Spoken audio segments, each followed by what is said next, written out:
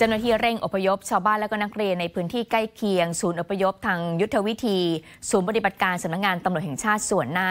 ในอำเภอเมืองยะลาออกไปอยู่ในพื้นที่ที่ปลอดภัยค่ะ หลังจากที่เกิดเหตุระเบิด ภายในอาคารเก็บวัตถุพยาน เบื้องต้นนะคะผู้บัญชาการตำรวจภูธรภาค 9 ก็ระบุว่าเหตุการณ์ที่เกิดขึ้นนั้นเป็นอุบัติเหตุค่ะ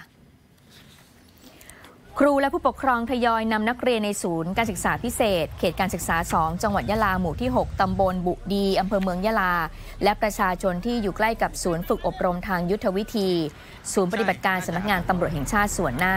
ออกไปอยู่ในพื้นที่ปลอดภัยค่ะ หลังจากที่เกิดเหตุระเบิด ที่คลังเก็บวัตถุพยานทำให้ตัวอาคารได้รับความเสียหาย แล้วก็เกิดเพลิงไหม้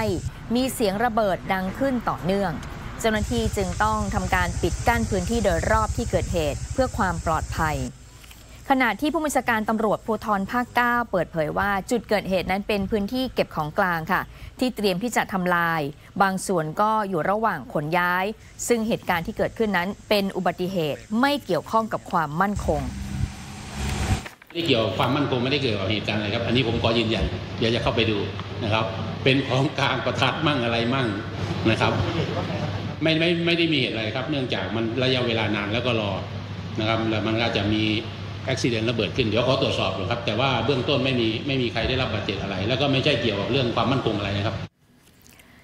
ทางนี้มีรายงานว่าอาคารหลังที่เกิดเหตุ เป็นอาคารเก็บวัตถุพยานต่าง ๆ ค่ะ ไม่ว่าจะเป็นคดีระเบิดตั้งแต่ปี